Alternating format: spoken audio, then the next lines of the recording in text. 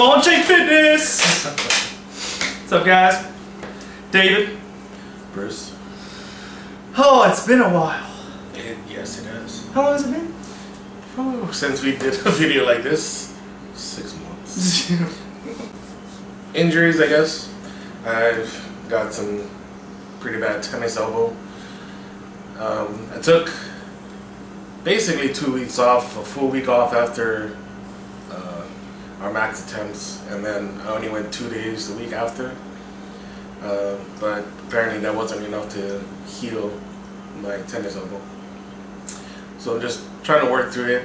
I think it's actually getting a little bit better. Changing my program a little bit. No more back squats or typical barbell squats. Um, I just don't really feel any benefit from doing them. I'm not saying that's a shitty exercise or anything. Um, It's not like you can't do them either. not that I can't do it, but I have really bad shoulder mobility, and yeah, you could say that I could work on it, but uh, I've noticed that since I've stopped doing back squats, I don't have pain in my shoulders now when I bench. Um, so it's that's all part of the process of why I'm not going to do it anymore. Um, yeah, so bench PR 438. Click on the video right here. David matched his PR. Let me tell you something, guys. Let me tell you something. Uh, if you didn't see the video, Every right here. I'm, I'm making gains all over the place, except my bench. I think it's actually going down.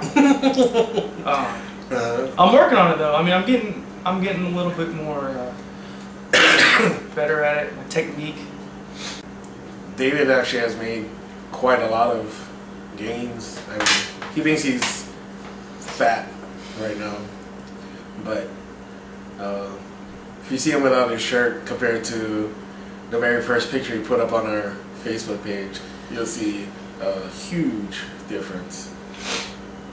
Uh, for a while, it, he was kind of stagnant as far as making gains, but it's because he wasn't really sure where his, his diet was just going up and down. And, Mm. he just couldn't focus. But since he's been focused on actually bulking up and putting on size and not worrying too much about the weight gain, he's made some huge gains. Thus, his deadlift started moving up again. Uh, his bench probably went down during the, during that time. Uh, but so matching a PR, that's good, and I think it shows signs of uh, getting stronger. You have a tape measure. Let's, let's measure your arm. It's not. Let's measure your arm. All right. I got it right here. Let's see this.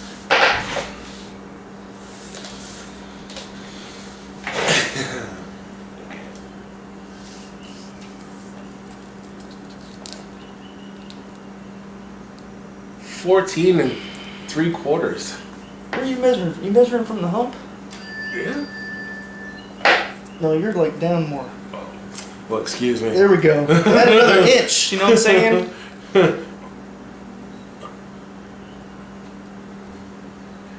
Fifteen. Yeah. Uh, a little bit under fifteen.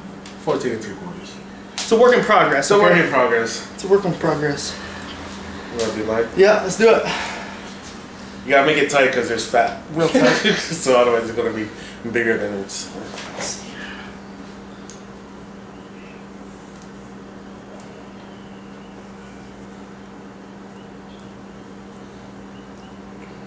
You put it tight.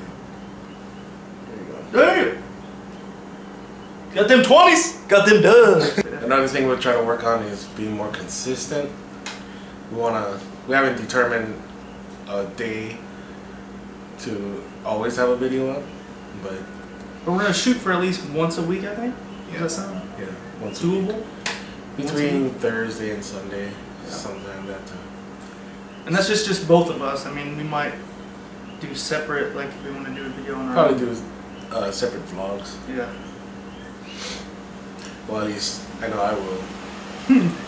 it's this guy. Can't even post on Facebook. But uh, till the next video that we put up, I just want you to know that the only thing you need to do in life is get fucking fit.